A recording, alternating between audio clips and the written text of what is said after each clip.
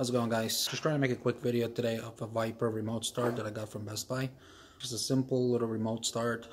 I was looking for a video like this just to see some of the features that it has and I couldn't find one. So I hope this will be helpful. Another big reason I'm making this video, I've had issues with um, starting at a first try.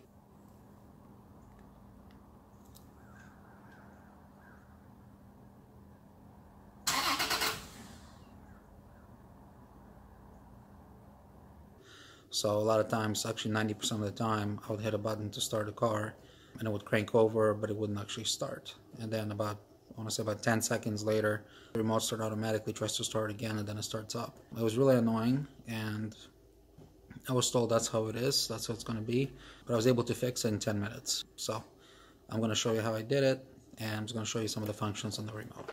Alright, so this is my, and sorry about the video, I'm using a gimbal. Um, I haven't used this gimbal in a long time. So if it's kind of all over the place, I apologize. So this is the, my Toyota Tacoma, it's 2014 V6. And this is the remote start that I got for it. So it's um, Viper 4115V. I couldn't really find this one on Viper website anymore. I'm assuming they're discontinuing it, but this should be true pretty much to all entry-level uh, Viper remote starts. I don't want to go with anything fancy. I just want a basic, simple remote start because I can usually see my vehicle. Um, either it's at work or at home, so I don't need a two-way. All I see is the lights come on, so I know it's actually running.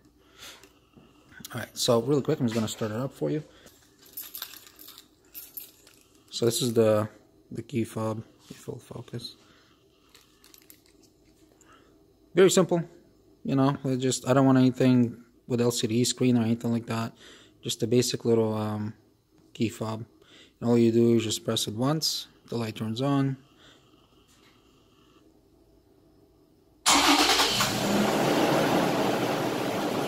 And there it goes. it Might be a little loud. So by default it will run for 12 minutes. It's easy to change it. You can change up to an hour. I don't know why would somebody would to change it for an hour, but it's not hard to do when you're ready to get in your vehicle you press it once again. It unlocks all your doors which is what I like. I don't want to just unlock the passenger I want all doors unlocked so I don't have to keep hitting the button. We gotta let people in. If you want to shut the vehicle off press and hold again.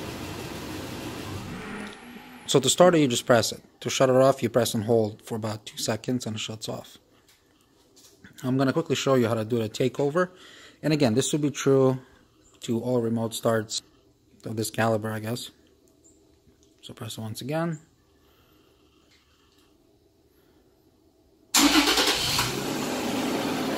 Once you unlock your doors, come up.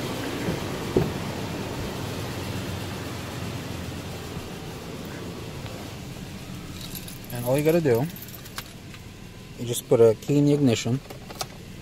And in this one, it's one, So basically two clicks to on position. And as soon as you hit the brake pedal, that's it. You basically just took over for the remote start. So you can put in drive and drive away. Very, very simple. One thing to keep in mind, if you do start it with the remote start, your factory key fob becomes disengaged. So the only way to unlock the doors is by hitting that uh, button, basically. Alright, so now on to fixing the issue that I had. So certain vehicles crank a little longer than others. These Tacomas, it's kind of a known thing. Uh, takes just a little longer to crank. And again, I went to two different places here in the city. They told me that it takes, it's normal for it to take a couple tries to start it, and I just, I wasn't having any of that. So, you know how they say, if you want to get something done right, do it yourself. So I basically found an installation guide for this particular remote uh, starter. And one thing I discovered is that menu 2 option 4 cranking time. You can actually change it from 0.6 which is the default to up to 1.2 seconds. I don't understand why because I even asked about Tacoma uh, Facebook page and there are people that have these or similar to these remote starts and have been dealing with this issue for years. Easy fix. So basically there's a valet button that your remote um, start comes with. It's just a, a long cord with the button at the end. It plugs into your module can't really see the module. I tucked it away um, pretty far over there. But just a little box you can plug the remote wire too. Once you plug it in, there's a sequence of button presses and key turns, which I'll include this in the description link.